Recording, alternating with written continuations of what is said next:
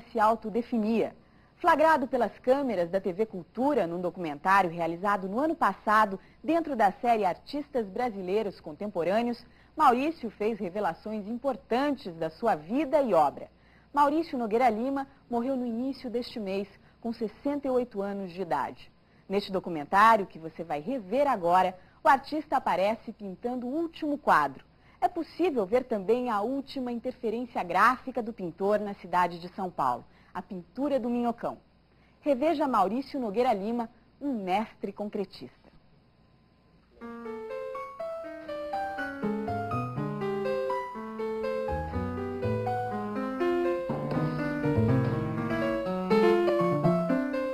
no começo do século XX houve um movimento muito importante que subverteu toda a forma de representação tradicional.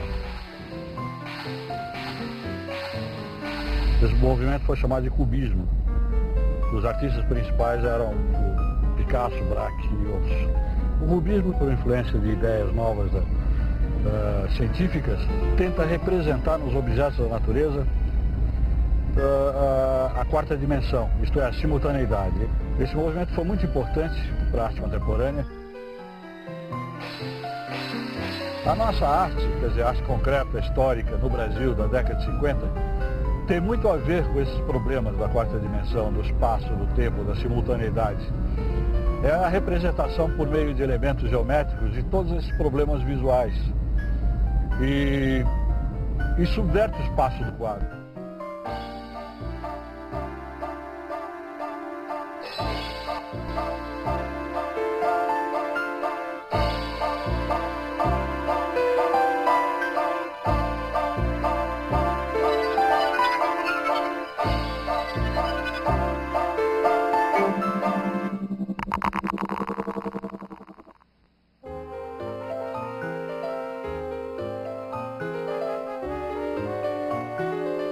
Vemos que na natureza todas as relações são dominadas por uma única relação primordial, que é definida pela oposição de dois extremos.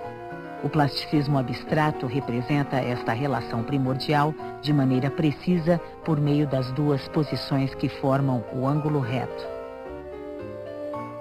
Esta relação posicional é a mais equilibrada de todas, posto que expressa em perfeita harmonia a relação entre dois extremos e contém todas as outras relações.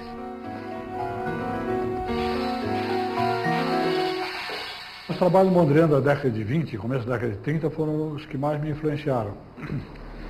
Tanto que eu fiz alguns trabalhos que não são bem uma, uma leitura do trabalho dele, mas são uma releitura. Não é tão ortogonal, ele é completamente ortogonal, né? Minha reta é coisa. Eu queria dar um movimento no Mondrian. Né? Não sei se consegui.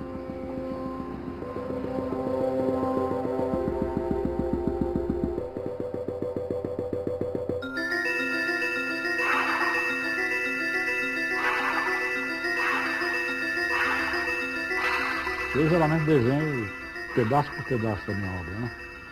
É, porque é, justamente é, é, o que faz a obra, quer dizer, é, determina o, o fazer da obra. Então eu traço toda uma diagramação e vou fazendo pequenos desenhos.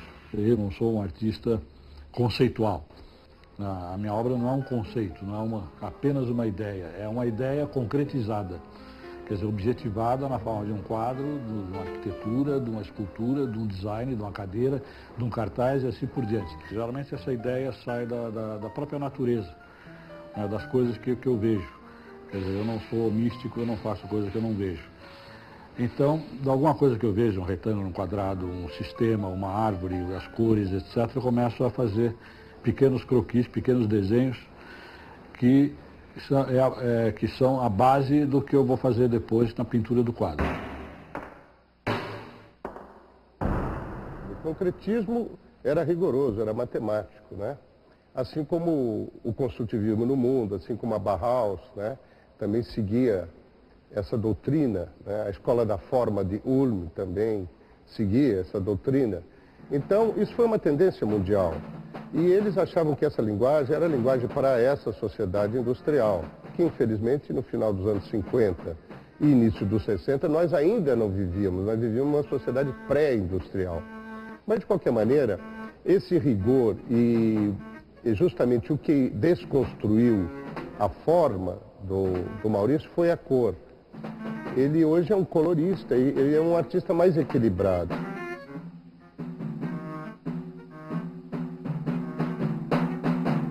No princípio, os trabalhos quase que não tinham muita cor, porque eram trabalhos mais baseados na, na estrutura deles. Então, eu queria aparecer, que aparecesse uma estrutura e uma outra. Então, o branco e preto seria perfeito para isso.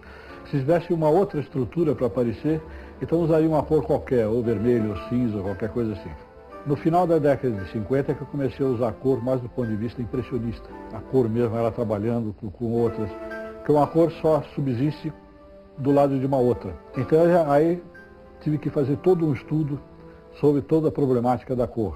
Denominamos arte concreta às obras de arte que são criadas segundo uma técnica e leis que lhes são inteiramente próprias, sem se apoiarem exteriormente na natureza sensível ou na transformação desta, isto é, sem intervenção de um processo de abstração. A arte concreta, quando alcança a máxima fidelidade a si própria, é pura expressão de medida e de leis harmoniosas.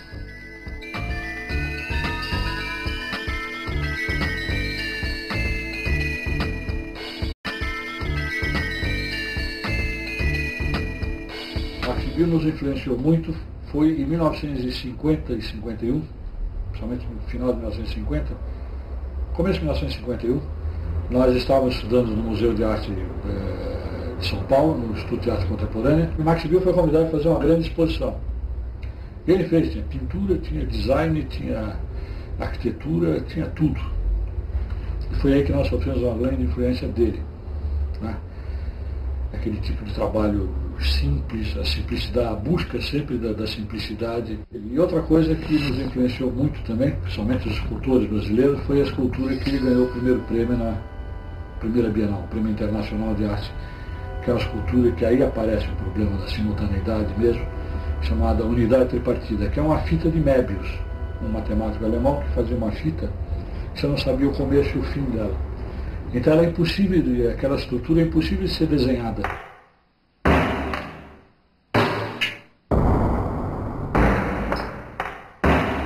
Durante os anos 30 e durante especialmente o período da guerra, em plena ditadura Vargas, o debate sobre ideias de arte moderna havia cessado, estagnado. Apenas a ideia de nacionalismo, mais ou menos vinculado ao sistema, que vigorava. No pós-guerra, com a queda da ditadura Vargas e a grande retomada do discurso cultural no mundo todo, o Brasil retoma o debate da arte moderna, mas em outro nível, bem mais avançado mais de acordo com o que estava acontecendo no mundo, particularmente Europa e Estados Unidos. Então criam-se as primeiras organizações realmente eh, modernas no Brasil na área da arte. Museu de Arte Moderna, a Bienal de São Paulo, Museu de Arte e sem falar na parte de teatro, na parte de cinema, etc. E a arquitetura. Mas já surge o debate da arte abstrata versus arte figurativa. Desenvolve-se então grupos de defesa da arte abstrata no Brasil. Lembrar que em São Paulo, pela primeira vez em 51, se organiza o Salão Paulista de Arte Moderna. Antes não havia. E ali se expõem as primeiras obras abstratas. E nós, do nosso lado, os irmãos Campos e eu, estávamos ao mesmo tempo em que examinávamos a poesia e todos os livros começaram a chover em São Paulo, então nós começamos a combater todo mundo contra a ideia de expressionismo, contra a escola de Paris, contra o surrealismo, nada. Nós queríamos uma arte construtiva. Uma arte que valesse por si mesma, um objeto que fosse arte, uma arte que fosse objeto. A gente sempre achava que a obra de arte no século XX devia ter uma utilidade. Por isso que quando eu fazia o curso de desenho industrial no Museu de Arte de São Paulo, eu me dediquei mais à arte gráfica as artes gráficas, principalmente cartazes, folhetos, panfletos. Né? Maurício era o mais jovem do grupo, do grupo de artistas visuais. E era o único que tinha curso superior. Aliás, estava tendo curso superior, porque ele era estudante de arquitetura no Mackenzie. E ele dirigiu e organizou uma revista de arquitetura. Nós trabalhávamos com tipógrafo, nós começamos a estudar história da tipografia, a tipografia. Então o Maurício era um deles. E quando eu fiz este poema Life, nós estávamos montando a segunda revista de poesia concreta, que era o número 4. E quando chegou o poema Life, eu fui para o Maurício e falei, Maurício, você me dá um jeito aqui, porque esse E também não está muito certo com o que eu quero. Então ele foi, estudou, redesenhou e fez o poema Life, cuja tipografia eu mantenho até hoje. L I F E. Life.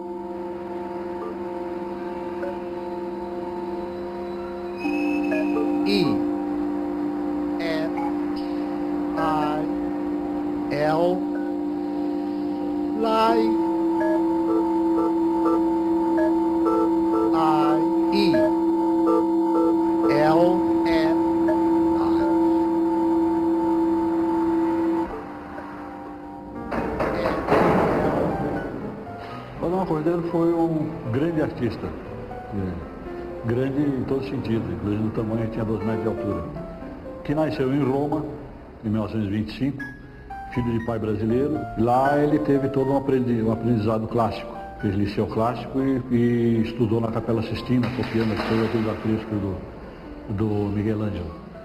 Depois da guerra ele veio para o Brasil e aqui ele foi um diretor de arte jovem ainda, com 20 e poucos anos, ele fundou o Arte Clube de Roma, que era de Roma, fundou aqui em São Paulo também. E foi nesse momento que ele começou a já trabalhar com arte abstrata. E nessa época ah, eu fui apresentado a ele, eu estava estudando no Museu, no Museu de Arte de São Paulo. Ele ficou entusiasmado comigo, perguntou o que eu fazia, disse que estudava no desenho industrial no Museu de Arte de São Paulo, ele disse que queria ver meus trabalhos viu meus trabalhos e disse assim, você vai participar conosco de um grupo que eu estou formando aí, que é um grupo de arte concreta. Vamos fazer um manifesto, vamos fazer, me apresentou os outros amigos.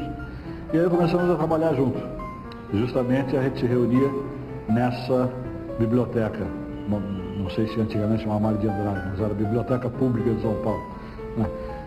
Numa cabine como essa, para a gente criar o nosso manifesto, que foi chamado de Ruptura.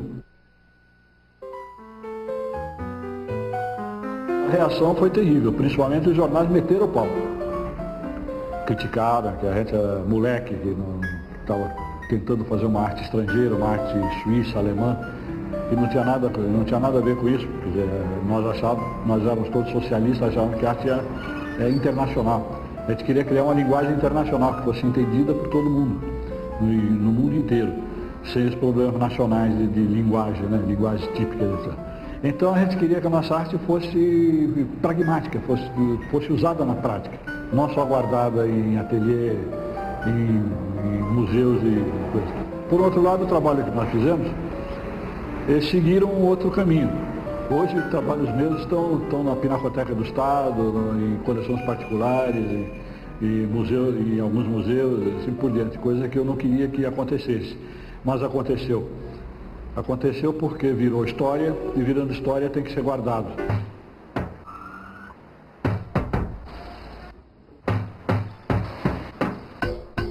Das exposições internacionais, a mais importante que eu tenho a impressão que eu participei foi em 1958, em Zurique, na Suíça, na Helmhaus de Zurique. Nós fomos convidados pelo artista Max Bill para fazer uma exposição que ele chamou de 50 anos de arte concreta. Então convidou todos os artistas da América do Sul.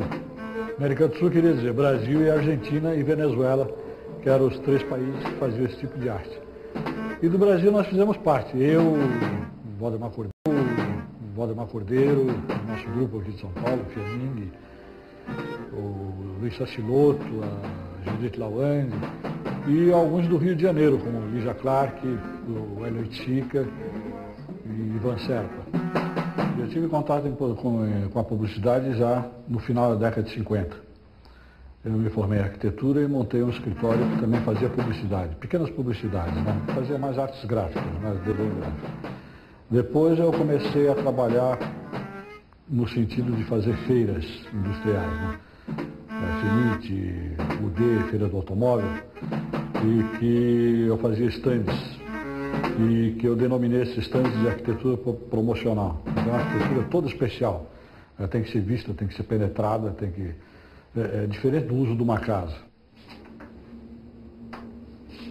Já nos tempos atuais, continuo fazendo a minha arte assim, mais pura, mais eh, geométrica, aparentemente geométrica, estruturada, toda estruturada, daí o estruturalismo, e com uma liberdade muito grande de cores. Eu não uso cores a olho. Eu parto de uma cor, por exemplo, vermelho, e desse vermelho eu começo a trabalhar com outras cores que têm alguma coisa a ver com esse vermelho. Por exemplo, o verde, que é uma cor complementar do vermelho, o laranja, que é um vermelho quase mais claro, né? tem, é, tem mais amarelo, o branco e assim por diante. Sou mais pintor do que escultor ou mesmo de arquiteto. Eu gosto muito do trabalho bidimensional.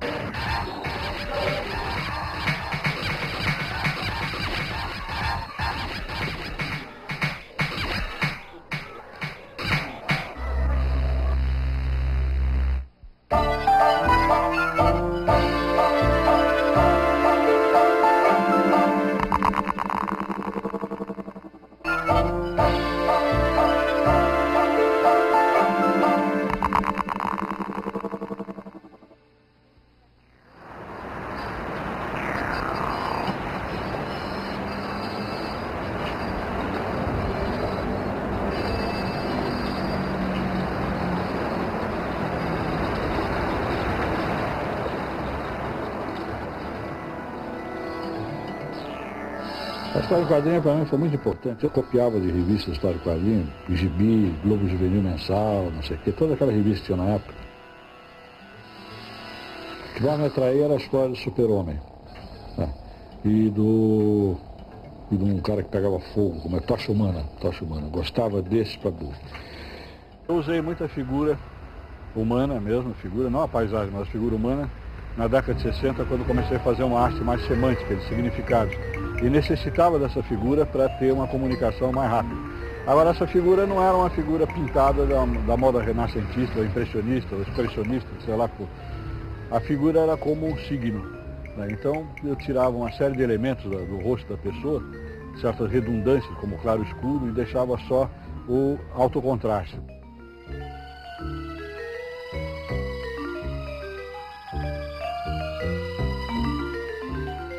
contraste. Eu desenhei essa neve baseada em fotografias. Eu encontrava em revistas, em livros. E o Andy Warhol usou uma fotografia, ampliou e apenas fez um batom e escureceu os olhos, botou algumas coisas em cima. Então eu redesenhei e evidentemente você vê que uh, esse é um princípio que a gente chama de princípio gestaltiano. O fundo e figura. O fundo vira figura no momento em que você põe alguma forma dentro. E esses ícones são, são de comunicação de massa, são de conhecimento de todo mundo. A gente trabalhava com os elementos do dia a dia, a gente pegava imagens, pegava é, símbolos de trânsito, as coisas que a gente vê dos meios de comunicação de massa e transportava para a pintura. Só que a gente dava um outro sentido. Aqui no Brasil, por exemplo, no período de 64 a 68, tem uma pintura muito forte, porque ela tem uma linguagem da nova figuração, mas ela tem uma carga é, muito grande de, de contestação, é, quase uma, uma obra de participação política, pelo momento que a gente vivia.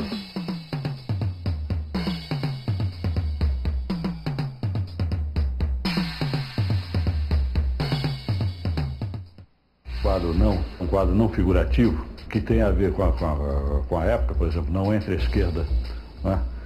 entre pelo cano, conserve-se a direita, com letras feitas como aqueles que desenhavam no chão. Embaixo tem duas setas, uma para a direita e outra para a esquerda. Para a esquerda tem bairros assim mais felizes de São Paulo, como Paraíso, Bela Vista, etc. E para a direita tem bairros que com conotação mais infelizes, onde ficavam os presídios, como Carandiru, Casa Verde. Desde 1967 que eu venho desenvolvendo o tema de jogadores de futebol, mesmo do próprio jogo. Porque futebol era, é um dos produtos mais importantes assim, da comunicação de massa, principalmente no Brasil. Os meus trabalhos que eu fiz de futebol eram sobre Pelé, que na época era o grande ídolo. considerado o maior atleta do mundo. Esse trabalho aqui é sobre o campeonato de 1970, uma homenagem ao campeonato. Parece que, se não me engano, é o Gerson que está aí representado, mas de uma forma bem simples, bem esquemática.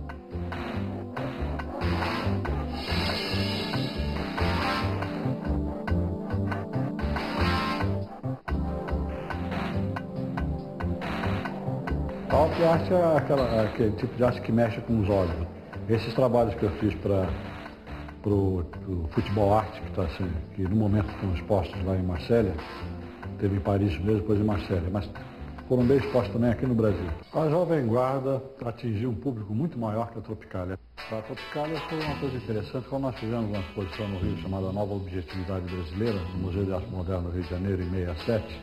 Esses trabalhos que eu fiz para para o futebol arte, que, está assim, que no momento estão expostos lá em Marselha, teve em Paris mesmo, depois em Marselha, mas foram bem expostos também aqui no Brasil. A Jovem Guarda atingiu um público muito maior que a Tropicália. A Tropicália foi uma coisa interessante, quando nós fizemos uma exposição no Rio chamada Nova Objetividade Brasileira, no Museu de Arte Moderna Rio de Janeiro, em 67, o nosso colega, o Hélio Oiticica, apresentou um trabalho que era uma crítica à situação brasileira, que era uma cabana que a pessoa entrava, era uma instalação.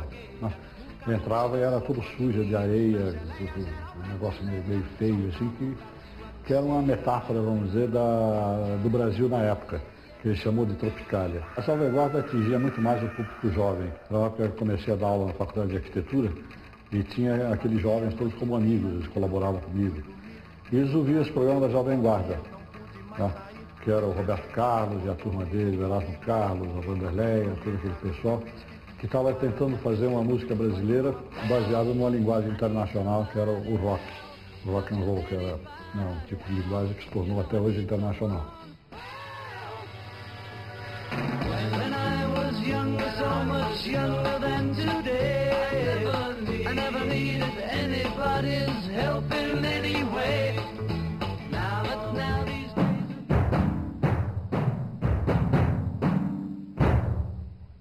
Maurício ele tem como característica o trabalho construtivo, mesmo quando ele trabalhava com imagens, ele fazia apropriações de história em quadrinhos e criava imagens em alto contraste, mas com uma preocupação sempre de construir a imagem, de relacionar um uma, uma cor, relacionar uma linha, relacionar toda uma estrutura organizada. Isso eu acho que influenciou muito uh, uma grande vertente da arte brasileira, que é alguns artistas que continuam a trabalhar com a estrutura como a essência da obra. Certa medida, a minha arte é antropofágica, porque é, as influências sofridas no exterior foram digeridas de uma outra forma aqui no Brasil, dentro da realidade brasileira.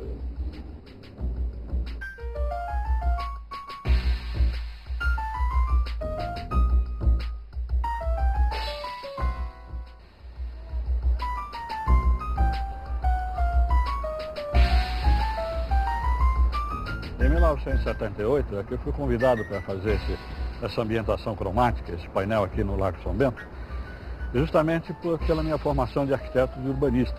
Então me convidaram para fazer uma ambientação cromática, quer dizer, um painel, um mural, no caso um mural porque a pintura é em cima da parede. E eu estudei, fiz todo uma, um, um estudo visual do ambiente, e diversas horas do dia, para ver o problema da luz, do sol, etc e resolvi fazer esse, esse desenho geométrico, que é baseado na geometria que existe em todos os edifícios aqui da praça. Quer dizer, é uma arquitetura em cima de uma arquitetura. Agora, a minha característica na época, como é até hoje, sempre foi aquela de criar volumes virtuais. Né? Então foi criado aí uma série de volumes em cima, embaixo. Né?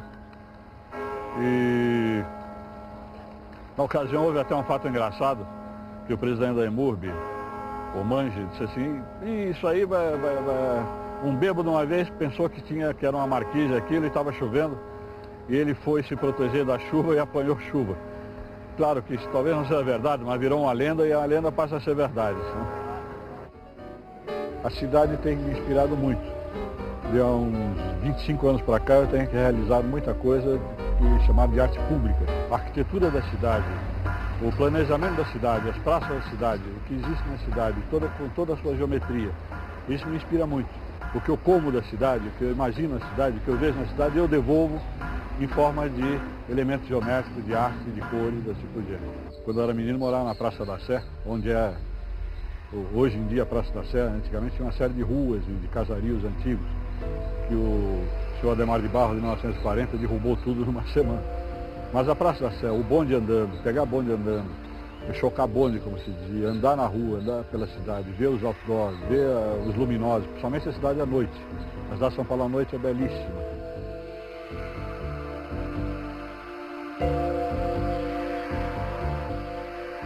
A gente está criando justamente, tentando anular a poluição que existe na, na cidade, essa grande liberdade que tem os comerciantes de, de colocar anúncios à vontade. Né? Então estamos limpando a cidade e pegando alguns locais e dando um certo toque de cor, né? que isso cria um, uma qualidade de vida muito melhor. Despolui essa paisagem muito poluída que é São Paulo.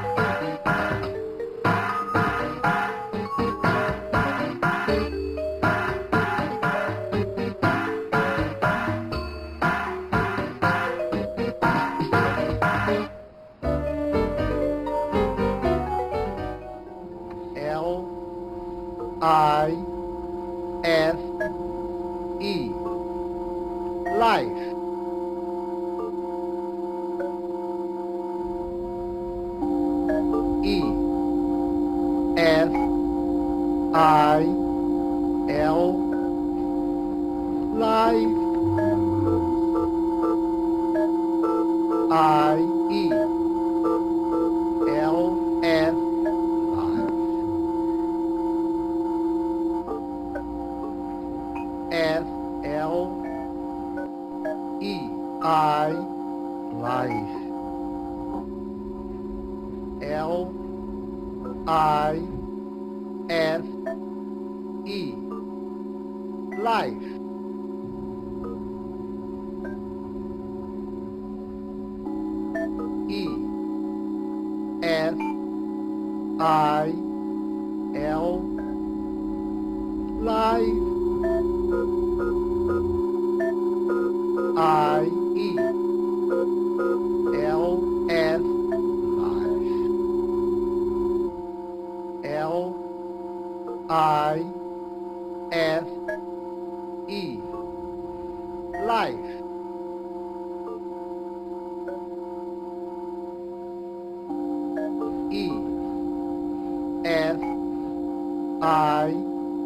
L life.